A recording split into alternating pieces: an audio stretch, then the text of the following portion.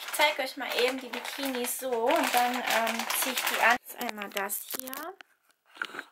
Mit so einem äh, floralen Muster, aber ich glaube, man kann es auch auf der anderen Seite anziehen finde das auch sehr schön geschnitten.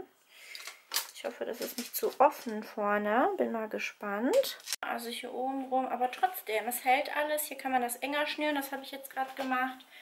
Unten das Höschen finde ich auch schön. Vom Schnitt her, das meine ich. Also entweder mag ich so den normalen Schnitt, das ist ja der normale Schnitt. Oder ich mag das, wenn das so ein bisschen dünner geschnitten ist.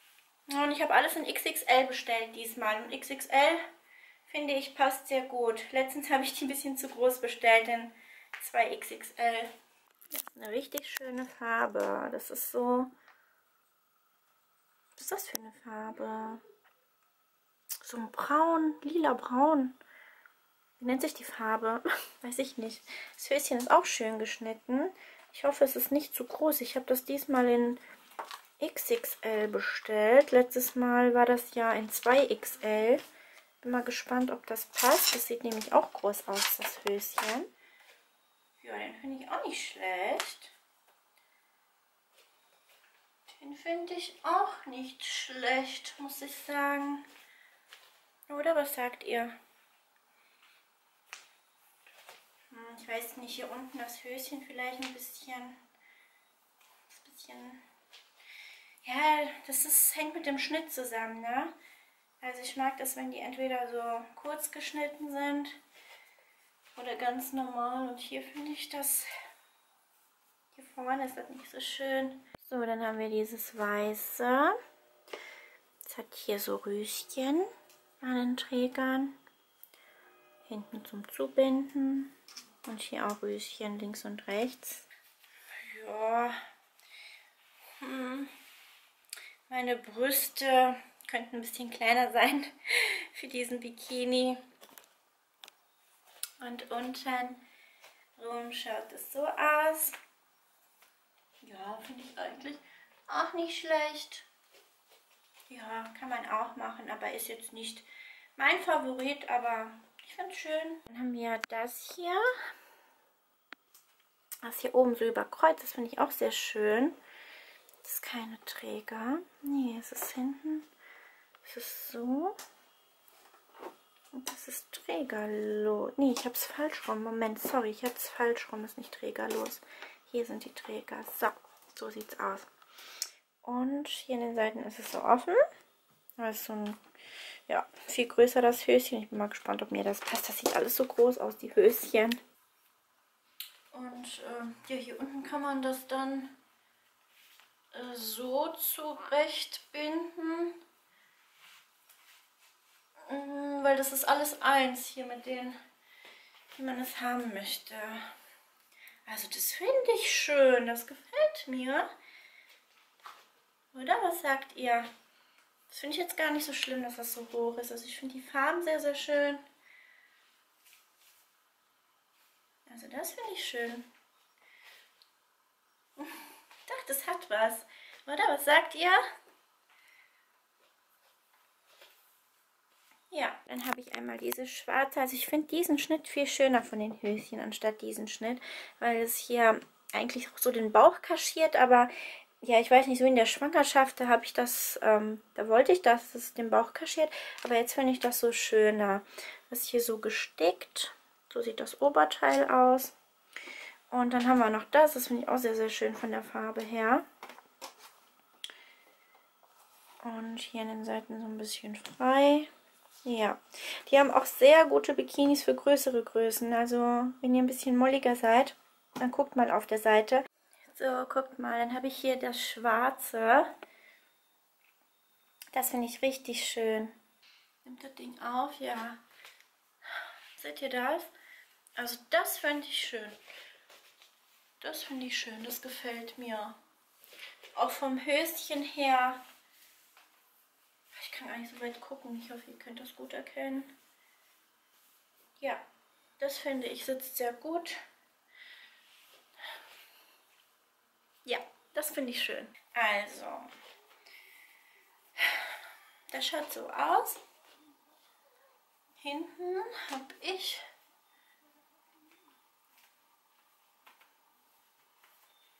irgendwas falsch.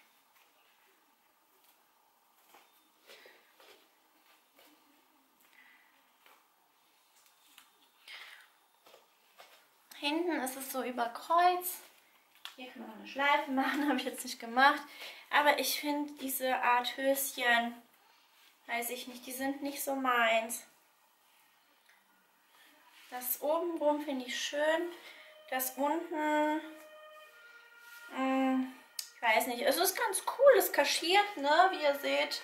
Aber ich finde diese normalen Art, normale Art Höschen doch besser. Aber wenn man so ein bisschen molliger ist, also finde ich das ganz schön.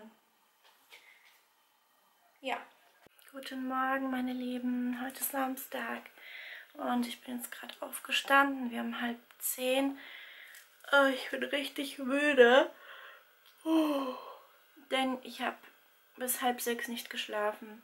Also ich war die ganze Nacht wach. Wir hatten auch gestern Vollmond. Ich glaube, das war der Auslöser. Ich habe mich nur hin und her gewälzt. Ja, dementsprechend äh, bin ich jetzt wirklich müde. Was habe ich gemacht? Ich war viel am PC. Ich habe viel Schriftkram gemacht. Sachen, die ich am Montag zum Beispiel alles erledigen muss. Habe ich hier auf, dem, auf der Küchenplatte bereitgestellt. Muss ein paar Anrufe tätigen und so weiter. Aber ich habe schon sehr, sehr vieles erledigt heute Nacht. Es hat auch die ganze Nacht geregnet bis heute Morgen. Jetzt ist die Sonne rausgekommen. Aber mal gucken, es soll ja nicht so schön werden, die Tage. Ja, ich habe sehr viel Shitstorm bekommen unter dem, äh, unter dem Lippenaufspritzen und Wangenaufbau-Video. Ähm, die negativen Kommentare sind gleich den positiven Kommentaren. Ich meine, ich habe Verständnis dafür, es muss nicht jedem gefallen, aber manche denken, dieses Ergebnis, was die da sehen nach zwei, drei Tagen, das wäre das Endergebnis. Mm, und es sah ja alles sehr aufgequollen aus und ich erzähle das ja noch im Video, dass es nicht das Endergebnis ist. Nur ich kann ja kein 30 oder 40 Minuten langes Video hochladen, ne? weil das ja dann im nächsten Vlog kommt. Ähm, aber die Tage danach, nach einem Eingriff, sieht man halt so aus. Das ist normal. Das ist genauso, wenn man sich operieren lässt irgendwo. Die Haut ist da, beziehungsweise die Stelle ist angeschwollen. Da wurde was gemacht und so war es auch in meinem Gesicht. Und ihr seht, heute ist wie gesagt Samstag. Letzten Samstag war sozusagen der Eingriff. Was seht ihr? Normalität in meinem Gesicht. Na? Ähm, wie gesagt, ich wollte mich jetzt nicht damit verunstalten oder mich irgendwie hässlicher damit machen. Ich finde es auch nicht. Also ich bin jetzt gerade ungeschminkt und ich finde nicht, dass da irgendwas unästhetisch aussieht. Gut, meine langen Wimpern sehen sehr unecht aus, aber ich meine jetzt nicht die Wimpern. Die Wimpern kann man abmachen. Ich meine das Hyaluron, was in den Wangen ist und im, in den Lippen. Ähm, dann hatte ich Kommentare, früher war ich so natürlich und ähm, manche finden es nicht schön, dass ich auf den Zug dieses Schönheitswahns draufgestiegen bin, wie andere Influencer. Ähm, ich finde, das hat damit gar nichts zu tun. Ich springe auf gar keinem Zug. Ich hatte schon immer meinen eigenen Kopf und wenn mir etwas gefällt, mache ich das. Ähm, das war schon immer so. Ich hatte auch schon wirklich jede Haarfarbe durch. Ich hatte auch schon grüne Haare. Ähm, ich habe Bock auf eine Haarverlängerung. Ich mache mir eine Haarverlängerung. Ich habe Lust, dass meine Lippen etwas dicker sind. Ich habe nämlich ein Foto gefunden, beziehungsweise das erste Video von meiner ähm, ersten Lippenunterspritzung. Ich verlinke euch das hier nochmal. Ähm, guckt da mal rein, beziehungsweise in die Infobox, ich weiß nicht, hier oder in die Infobox. Mm, wie dünn meine Lippen damals waren. Und ich war einfach sehr, sehr unzufrieden mit meinen Lippen. Jemand hat geschrieben, ähm, ja, Außenstehende finden einen zum Beispiel hübsch oder sagen, hey, du musst gar nichts an dir machen, es ist alles super. Ähm, aber man selber ist manchmal unzufrieden mit manchen Dingen. Manche sind mit ihren Brüsten unzufrieden. Ich bin mit meinen Brüsten zum Beispiel auch unzufrieden. Wenn ich sie auspacke, hängen sie nach der Schwangerschaft. Und hätte mir jemand von vornherein gesagt, dass mein Kind nicht stillt, beziehungsweise nicht von der Brust trinkt sozusagen, dann hätte ich mir das Ganze erspart und hätte, äh, ich glaube, man nimmt dann Tabletten und dann wird der Milchfluss gestoppt und dann hätte ich keine Hängetitten. Versteht ihr, was ich meine? Aber was macht man nicht alles fürs Kind? Mm, jemand ist dick, er nimmt ab. Manche sehen einen aber nicht als dick an. Ich sah meine Lippen als sehr dünn an und ich finde sie jetzt schön. Und mit meinem Gesicht das, ich fand mein Gesicht sehr rund, ich wollte das ausprobieren. Ähm, ich muss aber ganz ehrlich sagen, das werde ich nicht nochmal machen, weil ähm, ich sehe da jetzt überhaupt keinen Unterschied und ich bin jetzt auch kein Mensch, der sich Botox spritzen lässt oder so ein Fadenlifting machen würde. Das ist einfach nicht meins. Also ich kenne für mich meine Grenzen. Jeder Mensch kennt für sich seine Grenzen. Viele, die auf Natürlichkeit stehen, denen ist das hier schon zu viel. Und das verstehe ich und das respektiere ich. Ich finde es nur schade, wenn man nicht richtig zuhört und sich mit der Materie nicht auskennt und direkt danach sagt, es sieht furchtbar aus oder es sieht schrecklich aus. Weil ich finde nicht, dass es heute, wie gesagt, ich bin ungeschminkt, ich finde nicht, dass es unästhetisch aussieht oder dass es furchtbar aussieht. Das ist meine Meinung und ich würde mich auch auf eure Meinung freuen, in den Kommentaren zu lesen, wie ihr es heute zum Beispiel findet. Na? Ähm, wie gesagt, ich kenne meine Grenzen, ich werde mich nicht verunstalten. Es war halt alles sehr angeschwollen und angequollen und dann denkt man sich, oh je, das sieht ja so furchtbar aus. Ja, das ist normal, auch wenn man von der OP kommt, sieht man so aus. Aber ja, manche Menschen verstehen das nicht, obwohl man das im Video auch erwähnt. Gut, ich muss auch ganz ehrlich sagen, ich war noch nie ein Kind der absoluten Natürlichkeit, weil ich wirklich noch nie. Ich habe auch schon mit 12, 13 farbige Kontaktlinsen getragen und alles, was man machen konnte. Ich hatte eine riesen Dauerwelle.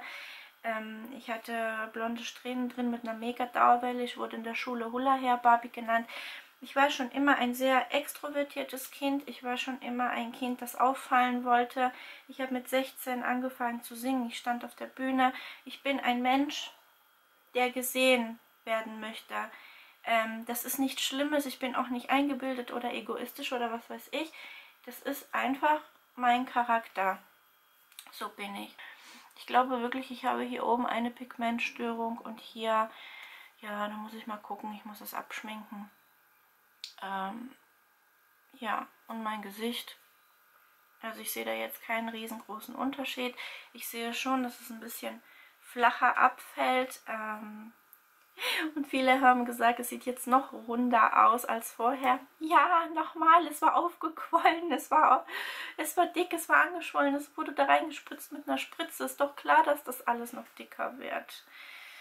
Ja, und heute seht ihr, dass es nicht mehr so ist. Was sagt ihr heute dazu? Das würde mich interessieren. Aber mein Magen knurrt ganz arg. Ja, ich werde jetzt Frühstück machen für Alexandro und mich. Alexandro ist dieses Wochenende bei mir. Ich freue mich. Und dann gucken wir mal, was wir machen. Leider haben wir nicht so viel Glück mit dem Wetter. Ähm, ich gucke mal, ob das Explorado Kindermuseum in Duisburg schon auf hat. Aber ich glaube noch nicht. Aber ich werde mich trotzdem mal erkundigen. Und dann gucken wir mal, wie wir dieses Wochenende verbringen. So, ich habe ganz vergessen, dass ich hier diesen Kontaktgrill gekauft habe. Und jetzt werde ich die ähm, Toast heute mal da drin machen. Jetzt muss ich erstmal meine Schilddrüsentablette nehmen. Heute muss ich auch mal Haare waschen. Im Sommer ist die Haarverlängerung nicht so gut. Da schwitzt man richtig beim Schlafen am Hinterkopf. Und das nervt mich. Ähm, ach, und ich habe vorhin ein Video geguckt. Ein Bekannter von mir, der Patrick, Rohvegan am Limit ist ähm, Chemiker und YouTuber. Und äh, bei ihm wurden zum Beispiel Videos gelöscht, ähm, er wird mundtot gemacht, weil, ähm, so wie ich das jetzt verstanden habe, es kann auch sein, dass ich jetzt falsch liege, darf ähm, hochdosiertes Vitamin D nicht mehr vertrieben werden und generell hochdosierte Vitamine werden nicht mehr vertrieben. Also da hängt sehr viel dahinter von der Pharmaindustrie momentan ähm, mit, diesem, mit dieser Corona-Ablenkung oder Corona-Taktik. Ähm, und achtet mal in der nächsten Zeit drauf, wenn ihr Vitamine zu euch nehmt, ähm, die werden weniger dosiert sein, also niedriger dosiert sein. Ja, ich denke mir mal, wir sind einfach zu viele Menschen und ein paar sollen nicht mehr da sein.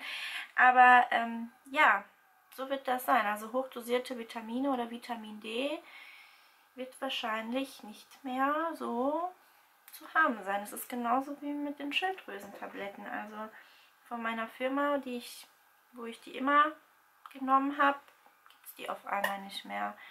Die sagen, es gibt Lieferungsschwierigkeiten, aber wer weiß, was alles dahinter steckt, ne?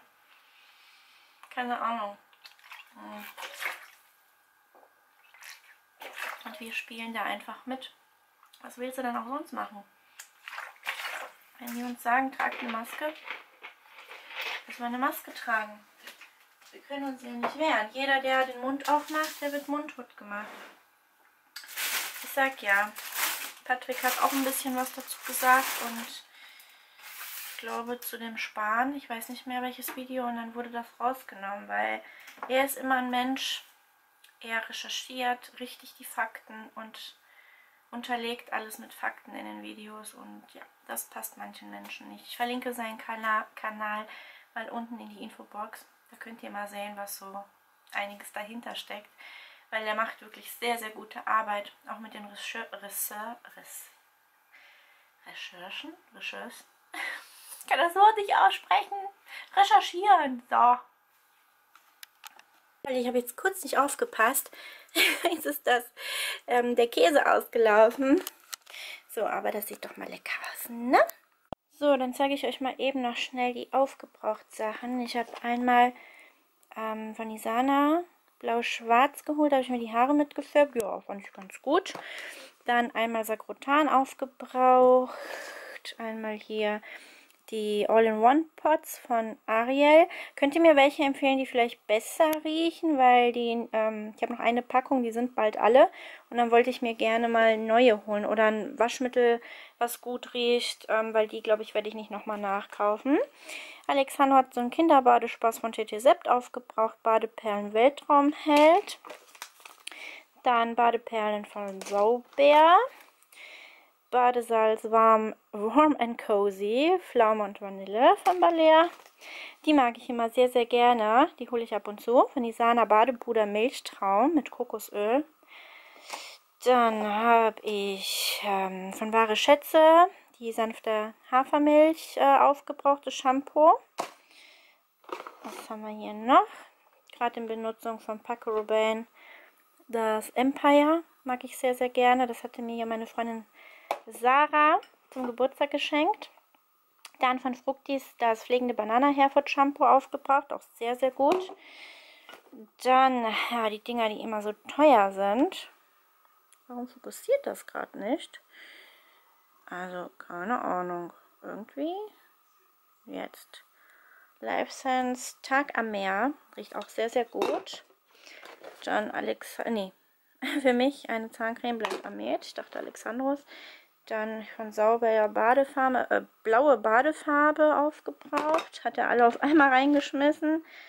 Was hatte ich denn hier? Ach, das waren die Wimpern, die Magnetic Lashes. Von denen war ich total ähm, ja, ähm, enttäuscht. Die haben nicht gut gehalten, die sind immer gerutscht. Also werde ich auch nicht mehr kaufen. Ähm, dann von Denk mit Kühlschrankfrische. Fand ich ganz gut. Das ist in meinem Kühlschrank drin. Das ist auch mit Zitrone, weil letztens hatte ich eins geholt. Das hatte überhaupt keinen Duft. Das war von Rossmann und bei DM gibt es das mir noch mit Zitronenduft. Dann habe ich von Smile Secret das zweite, diesen zweiten ähm, Stift aufgebraucht, den man, diesen Aufhellungsstift, was man auf die Zähne äh, drauf macht. Und dann habe ich von, ähm, sag schon, von Juwelkerze die Kerze aufgebraucht, magische Eisblume, Sieht voll schwarz aus oben. Ähm, da war dieses Kettchen hier drin. Mit, äh, nee, das ist die gar nicht. Auf jeden Fall war da so ein, ähm, so ein Schneemann. So ein Schneemann drin. Genau, das waren meine Aufgebraucht-Sachen. shadows leave my head. When the world is on your shoulders and you feel like falling